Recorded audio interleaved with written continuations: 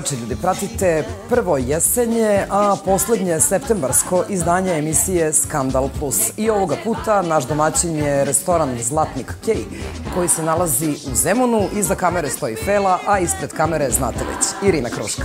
Pomalo opasno. Svi ljudi i događaji po kojima ćemo pamtiti prethodnih sedam dana našli su svoje mesto i u ovoj emisiji. No, na samom početku moramo da se podsjetimo jednog beskreno šarmantnog čoveka, divnog pevača i dragog sagovornika ove emisije. Prošlo je više od godinu dana kako je ovaj svet napustio Darko Radovanović. U teškoj saobraćajnoj nesreći kod Ostružničkog mosta živote su izgubili Darko i njegov menadžer Aleksandar Milošević. Ipak njegove kolege pokazale su da ga nisu zaboravile, baš kao ni svi mi koje je uveseljavao svojim osmehom i pesmom. Čuvam ja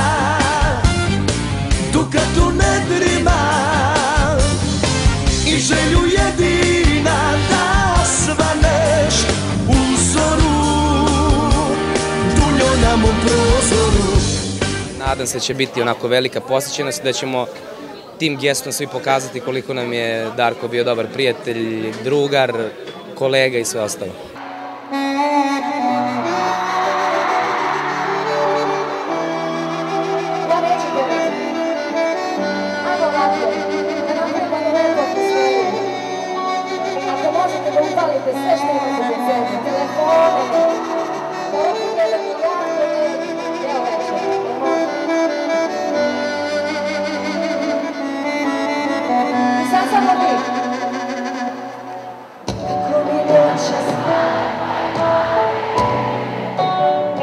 Radovanović rođen je 21. septembra 1975. godine u Novom Sadu, a već u osnovnoj školi je počeo da peva i osvaja nagrade na muzičkim takmičenjima. U srednjoj školi osnovao je grupu Nebeski jahači, a kasnije, tokom studija fizičke kulture u našem glavnom gradu, postao je i član grupe Čvaka Čvak, danas Mega Mix, u kojoj je proveo pet godina. 2003. godine takmičio se na Beoviziji, a solo karijeru započeo je dve godine kasnije. Važio je za jednog od najboljih klubskih pevača pred kojim je blistava budućnost. I kolegi i publika za njega su imali samo reči hvale.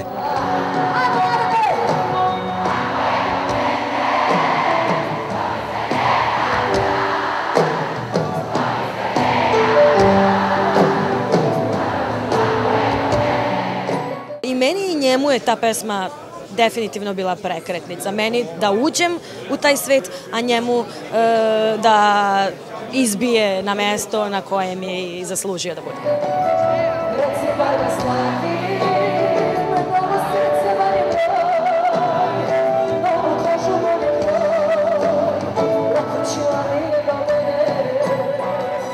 On je bio majstor e, dobre atmosfere, dobre svirke uživo, e, on je prosto važio za, za najboljeg i ideja je da mi svi zajedno e, to nešto pokušamo na neki način da izimitiramo, eto, koliko je to moguće.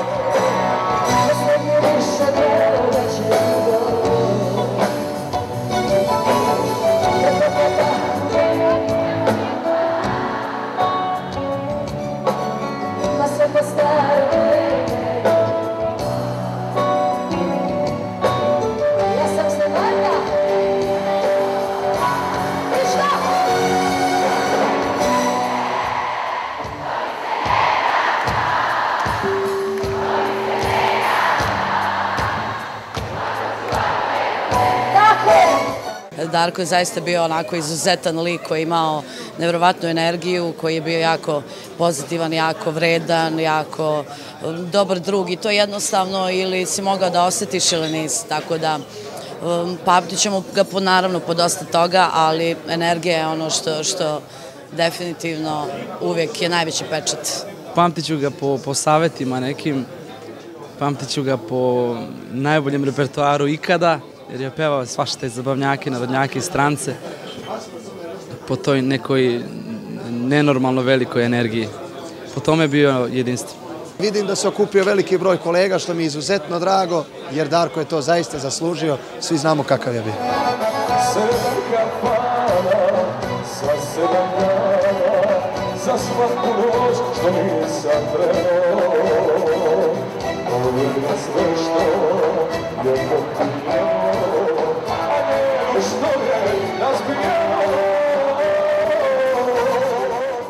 Prvenstveno je bio jako dobar čovek, e, meni među omiljenijim kolegama i, i, i dečko koji je bio pun energije, koji je na svojim nastupima davao sve od sebe, toliko ulagao u svoje pesme, karijeru, stvarno, stvarno šteta, velika šteta što se to izdešavalo. Ja sam došao u Beograd i e, sećam se trenutka, tu je i Miša, negdje sam ga video, njegov klavijaturista. Miša i Darko su bili prvi ljudi koji su bili na, na mom nastupu koji je bio onako slabo posjećen jer sam tek došao u Beograd. Tako da ovaj, sa Darkom sam nastavio druženje i ono, ono sve što sam dobio od njega što se zove ovaj, podrška jako mi je značajno. Tunjo na mom prozoru Tunjo na mom prozoru Marinko, Nikola i Marko. Tri generacije i tri različita pevača koji jednako dobro prolaze na srpskom medijskom nebu. Ipak, trenutno medijski najinteresantniji Rokvić je Nikola i on je naš sledeći sagovornik. Povredi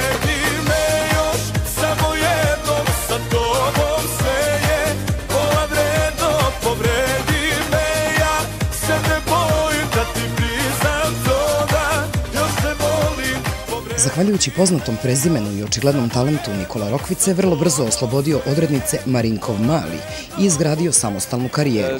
Dok sam bio mlađi, dok sam kretao, nisam znao šta i, i, i bio sam i u novinama i na televiziji pričao o nekim stvarima koje su totalno nebitne. Ja mislim da ipak e, ovaj, treba izaći i reći nešto kad imaš, a ovako je samo kontraprodukt. Kad si stalno po novinama i stalno u televiziji, mislim da ne valja. Prvim učešćem na Budvanskom festivalu Šarmantni pevač koji je kasnije ipak promenio žanr. Slava kulala, pičići droga, sestrade mi smo oterali Trasirao je svoj put, a njegovim stopama krenuo je i brat Marko. Pa Marko super snalazi, lepo mu je krenuo izbaciti tu jednu pesmu, evo, polako kreće da nastupa, pa eto, ja mu želim sve najbolje, nek se bori. Zato što znam kako je meni bilo, zbog, sa, zato, samo zato što sam imao poznatog oca i, i ovaj, jednog velikog pevača i morao sam da njega dostignem. Sad on ima ovaj teret oca i mene, jako je teško, ako to pobedi, ovaj, ništa ga više neće moći sprečiti. Tako da i naravno da prati svoje srce i da, da radi ono samo što osjeća i što, što želi. Moj jedini greh je ljubav To što želim te kao prvog dana Zašto te volim, zašto te sanjam Zašto se nadam, a znam da nisi sama Ja ovaj, radim već jednu godinu i po dve na, na mom albumu. Biće to pop muzika.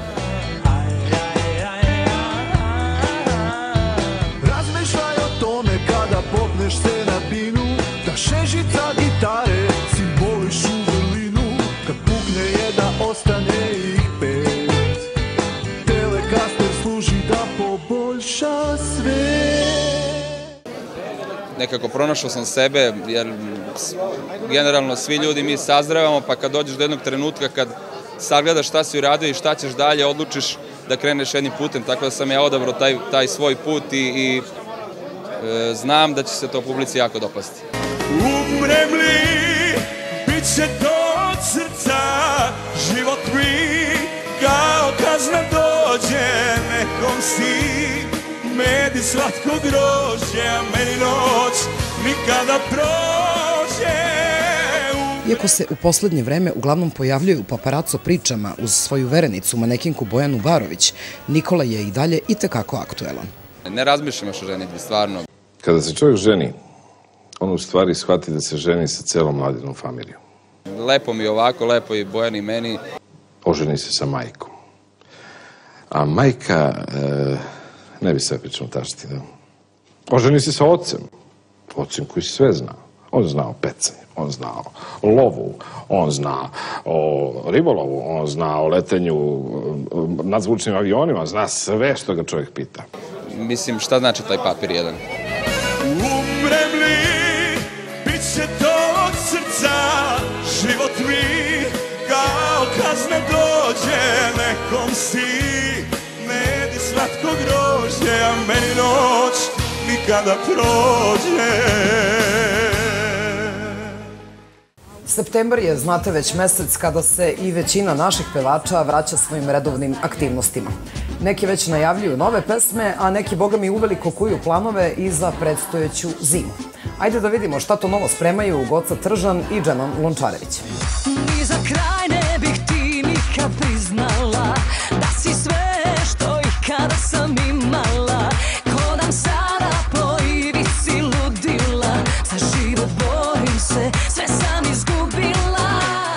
oktobra snimam spot za pesmu uh, Reci mi u lice, koju sam snimala sa mega bandom iz Kragujevca.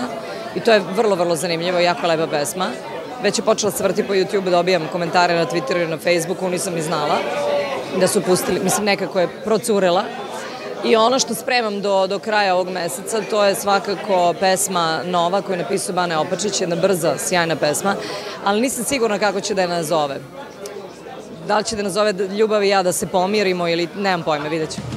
Mogu ja najponosnije tugu nositi i opsovati i oprostiti sve što tebe je na smrt plašilo samo i sebi sam strašilo Ne čitam uopšte o sebi ništa, ovaj, Ljudima je neverovatno prosto da ja ne kupujem novine, da mene to ne zanima. Ja nisam ovaj, egomanijak i uopšte ne čitam ništa što piše o meni.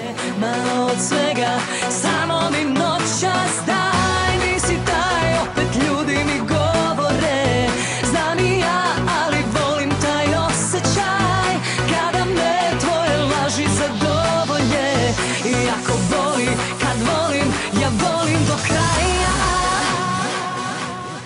Nisam se odmorila, radila sam mnogo više nego što sam radila zadnjih deset godina.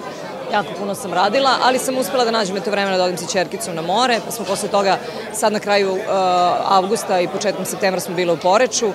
Tako da sam sa njom najviše provodila koliko god je to moguće, ali sam zaista puno radila, baš, baš puno.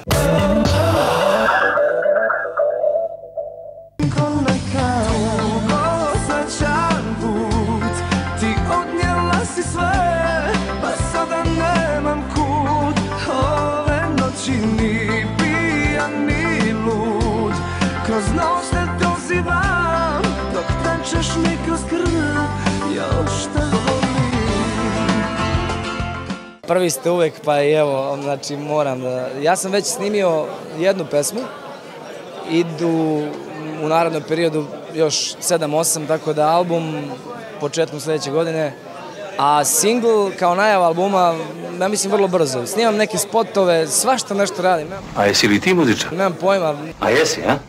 Nisam umio ja Da te čuvam i štedim Lako prodao sam Što najviše vrijedi. Samo da si tu ovu noć Da ti dah osjetim.